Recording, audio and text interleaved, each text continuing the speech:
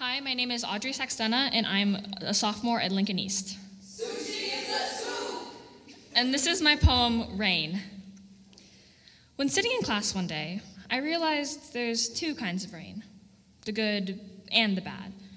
I only ever thought about the good rain before, but now I'm thinking of the bad. Both can be gentle, both can be aggressive. The bad rain blocks the sun it traps me inside, inside my head, with my fears being fed by the echo of people typing up a storm without me. At first, the rain is gentle, like the slow tick tock of the clock as the first minutes pass by. The stress builds up.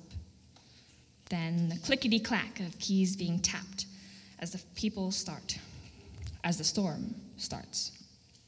Gradually, more people join in until the rain begins pelting down on me when I don't. And I see this rain will sweep me away, drown me, because it is, it is fast and aggressive. I can't keep up. My page is still empty.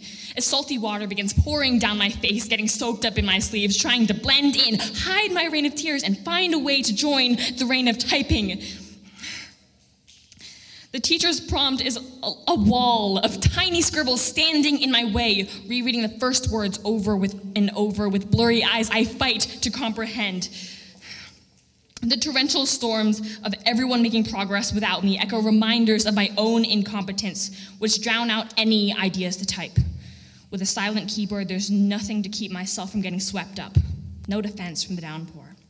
I can't just sit here waiting for the storm to pass. I have no idea what I'm doing typing gibberish. I have to do something. Fear is taking control of my brain until I hear the good thunder.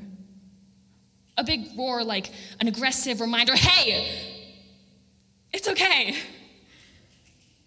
Take a step back. Hear the rain and its melodic percussion, the uneven patterns which overlap but flow together like music.